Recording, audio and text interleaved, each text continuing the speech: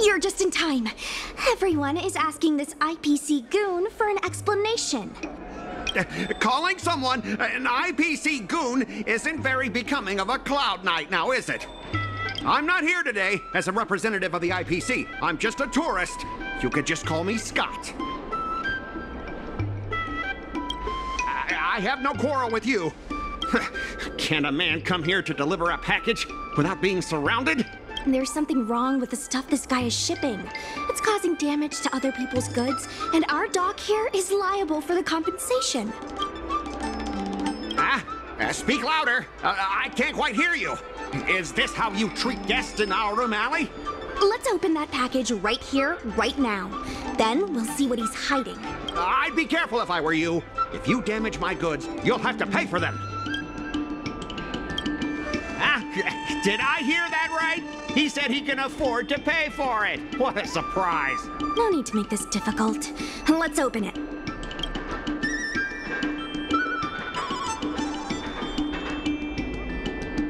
Let's check and see if there's anything suspicious.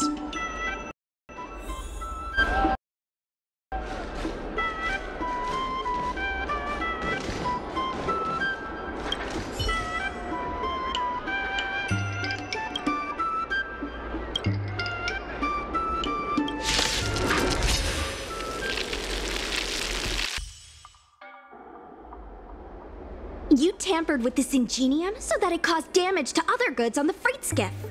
Uh, speak louder. I can't quite hear you. Conclusive evidence? Deny? Here, look carefully. This old piece of junk doesn't even belong to me. What? If you don't believe me, just ask the dock workers. Uh, if I may, he's telling the truth. This golden cloud toad does not belong to Mr. Scott. Uh, then why was the toad here in the first place? Uh... That's your problem, not mine. Now, let me ask you a question. My vase was almost smashed to pieces. What do you say about that? Oh, you wanted it to be broken?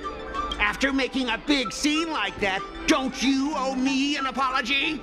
I. I guess we do. Well, are you going to apologize or not? Sorry, sir. For this kind of barbarity, a single apology won't ever be enough. Just think of this as a practice round for later.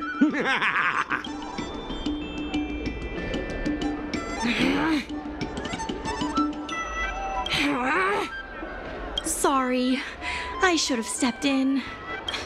My mother always told me that as long as I honed my skills, I'd be able to deal with any situation. Seems I've still got honing to do. Before the payment due date arrives, I'm going to teach you two how to fight. With words. Follow me. We're going to see the president.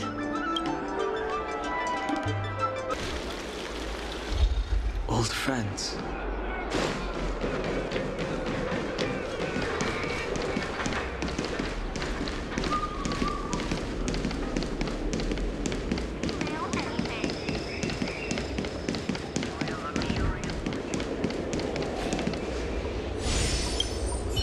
Secretary said that you want to learn how to get the upper hand in an argument. Is that right? The president agreed to meet with you all later, but now is not the time. The president is aware of recent events and is willing to pass on some simple negotiation skills to you. Rule 1 Prepare your ace card in advance. Just as Cloud Knights ready their weapons before entering battle, you should have your ace card ready before you walk up to the negotiating table. I will present you with a few items, and you need to examine them carefully. This is the box that was opened earlier at the dock, the one containing the Golden Cloud Toad.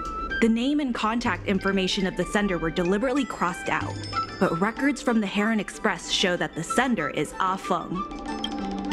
Rule 2 Play your ace card at the right time. These documents can only be truly effective when your opponent reveals a weak spot. How about this? I've prepared a little practice exercise for you. Mr. Afeng, over here, please. What exactly does the president have up their sleeve? Uh, I don't know anything. I don't have anything to say.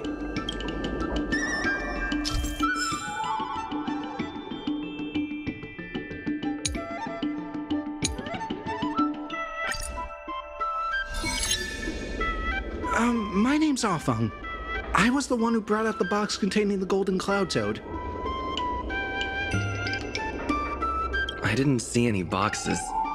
Only the golden cloud toad. Um, if goods need to be inspected, we remove the packaging ahead of time. You wouldn't want to do all that work yourself, would you?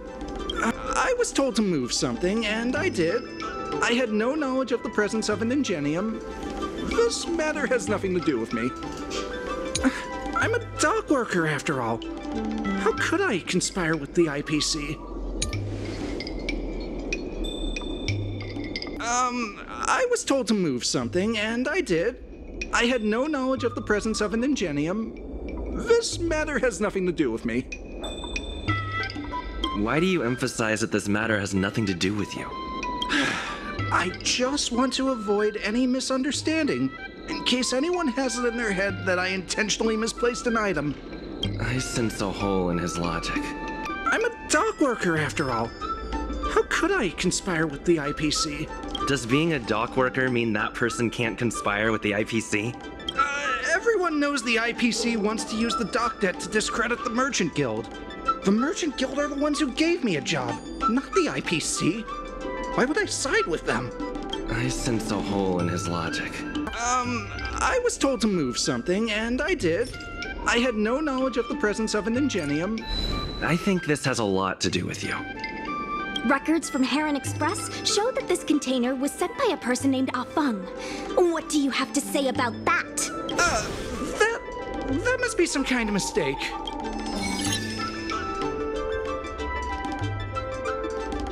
All right, all right, enough already! The IPC was worried that the lease for the dock would be paid off, so they had me move some things around. Is that so terrible? Is letting the IPC take over management of Aurum Alley such a bad thing? Besides, what's it to you if I make some extra money? Mr. Afeng, our goal at the Merchant Guild is to help make Aurum Alley a better place for everyone. Why would you work against that? Keep your heads in the sand if you like. But it's only a matter of time before Aurum Alley becomes another warehouse for the IPC. That's right. You shouldn't be betraying your fellow workers for a quick profit. It seems that the truth has come out. Here is Mr. Afeng's testimony. It may come in useful later. The payment for the dock is ready now. If you're ready for the next round of negotiations, come and see me at the dock. Right. That guy's gonna be sorry for everything he's done. Time we got a public apology.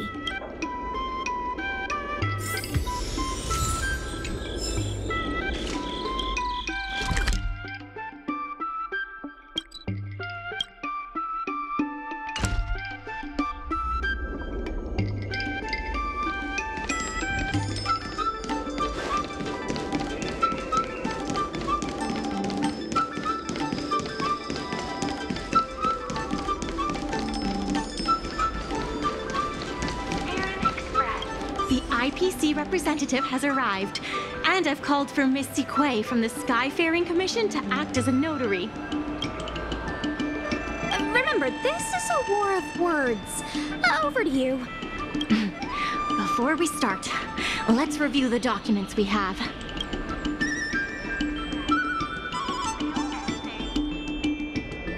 The testimony of dock worker Ah who has admitted to disrupting the normal operations of the dock in exchange for payments from the IPC. When the Aurum Alley dock went up for public bid, the IPC won the bid using its interstellar trade resources and extensive capital. Then, the IPC leased the dock out to the Aurum Alley Merchant Guild for management and operations. This contract can prove that the Merchant Guild has legitimate rights to operate the dock. We reached the required amount by the repayment date. This is the basis for our right to continue negotiations and is a testament to the business viability of Aurum Alley. Let's go. The notary from the Skyfaring Commission is already waiting for us. On behalf of the Skyfaring Commission, I am here to preside over the leasing dispute between the IPC and the Aurum Alley Merchant Guild. Is there anything left to dispute? I'll cut to the chase. The Merchant Guild should have removed itself from Arum room alley a long time ago. Couldn't the IPC choose a sane person to represent them? Huh? Uh, Say that a little louder. I can't quite hear you. I said the IPC should send someone else! Goodness, there's no need to shout, little Miss Feisty. My ears are ringing. You should be saving your voice for your public apology. As the representative of the IPC, my presence in this negotiation is legal, reasonable, and sensible. Who do you plan on sending to the battlefield? A random Cloud Knight? That cowardly president who's afraid to even show their face? Or how about that kid who got dragged into this fiasco at the last minute, walking around like he owes someone 50 credits? That's enough, Representative Scott. Please state the IPC's side of the case. The IPC specially leased operations of the dock to Aurum Alley Merchant Guild in the hopes of seeking common interest and development. Why couldn't the IPC operate the dock from the beginning? Oh, are you implying that the IPC was setting a trap for the Merchant Guild? You're saying the IPC leased the dock to the Merchant Guild, who mismanaged it, in order to destroy the Merchant Guild's credibility? That was definitely your plan all along. Ah, so you admit the Merchant Guild mismanaged the dock. this guy!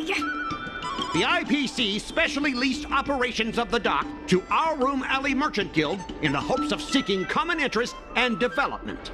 But the Merchant Guild refused to cooperate with the major shops in Aurum Alley, and the once prosperous dock is now desolate. The Merchant Guild has never refused to work with any shops in Aurum Alley. Ah, never refused? Then let me ask you how many shops are currently in your logistics network? There will be a lot more later. Later? How much later? For the Xianzhou, does later mean 500 years? Can the shop owners here wait that long? Uh, 10 years. Uh, 20 years. Psst.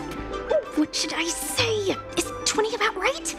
But the Merchant Guild refused to cooperate with the major shops. If the inefficient shipping and low volume of transactions at the Room Alley dock, which does not create any value at all, are clear evidence of poor management. The dock has improved shipping efficiency, and transaction volume is increasing.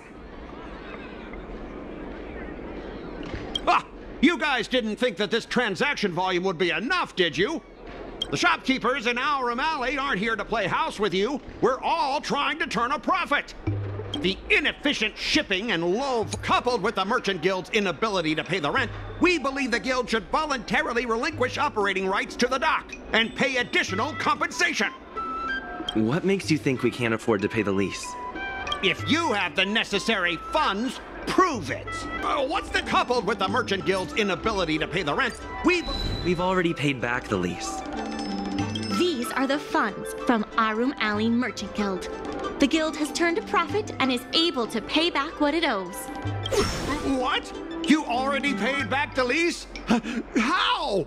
The documentation provided by Aurum Alley Merchant Guild is true and credible. And according to the lease contract between the two parties, the Merchant Guild still holds the rights to operate the dock. Next order of business.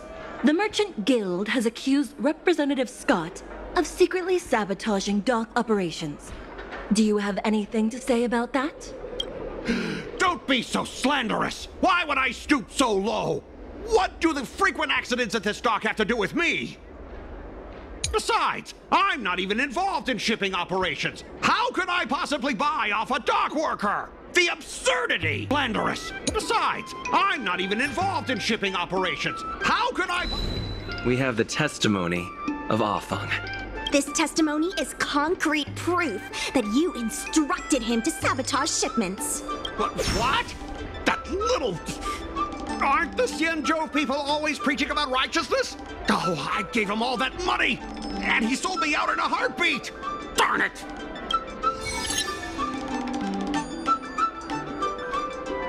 If the evidence presented is true, Mr. Scott, then this constitutes improper business practices, and the Skyfaring Commission will conduct a follow up investigation. Hmm, how did this happen? How did the plan go awry? Don't forget about our bet. You have to apologize in front of everyone. What? Why should I apologize? Because you use dirty tricks to trample all over the honest work of others. An apology alone won't be enough to fix the damage. If it were, I'd make you do it a thousand times over. Consider yourself lucky it's just the once. I hereby apologize to Aurum Alley.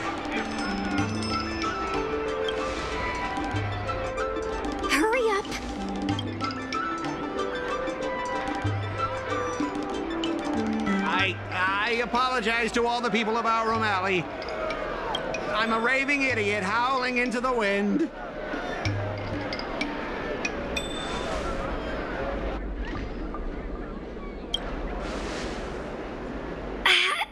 Is that really necessary? Make him bark! Make him bark! That's right! Ah, enough! Woof, woof, woof, woof, woof, woof, woof! Woof, woof! Ow!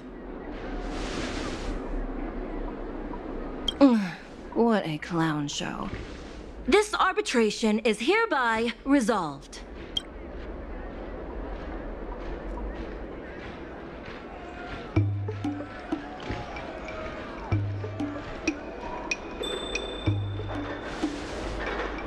To all of you, we managed to pull through the dock's debt crisis. Worth every step. We should take advantage of the momentum to upgrade the Aurum Alley dock and increase its transaction volume. I'm preparing to upgrade inventory and logistics planning. The previously idle dock is now ready for use, so come see me when you have time. The dock crisis is over for now, but the rejuvenation of Aurum Alley has just begun.